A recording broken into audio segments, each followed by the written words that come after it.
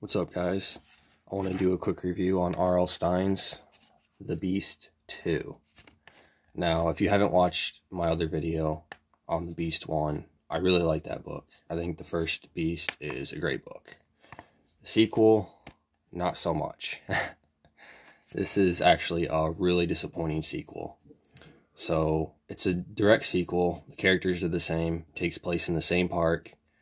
The kids go on the Beast roller coaster. They travel back in time again. and that's kind of where the similarities between the stories end. Um, the plot with this book is not very cohesive. Doesn't really make a lot of sense compared to the first one. The first book was a lot more linear and had more of like a direct story. This one is just kind of all over the place. Uh, the kids travel back in time.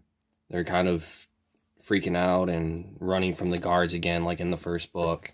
Then they end up getting trapped. There's going to be spoilers. Spoiler alert. Um, they end up getting trapped in like this freak show type thing where this guy's holding them hostage in these cages and people pay to come look at them. And the guy's like, kids from the future, you know, ask them anything. And so they're locked up for a few days, or I guess I don't remember how long it is, a couple days or something.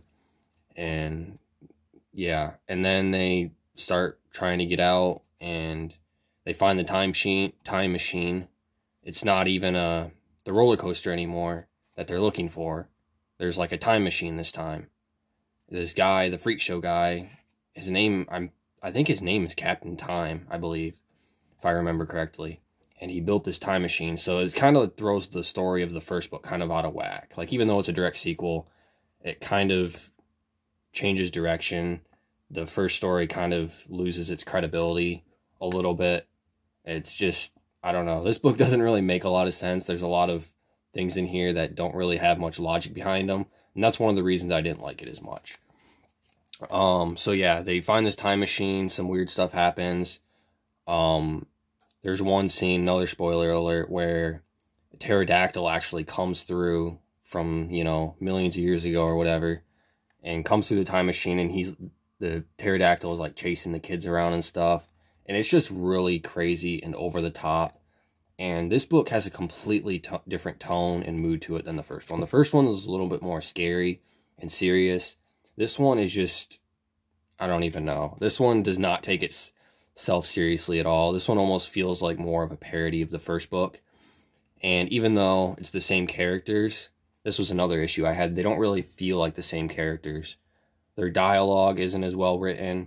Their actions don't seem as smart. They just don't feel as fleshed out as much as they were in the first book, if that makes sense.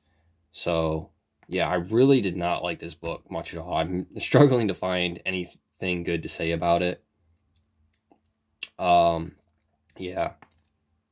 I don't really know what else to say about it. I think that's about it. It's not a sequel I recommend. I recommend reading um, The First Beast. This one, I just did not really care for as much. So, yeah. That's my review of R.L. Stine's The Beast 2. Thanks for watching, guys.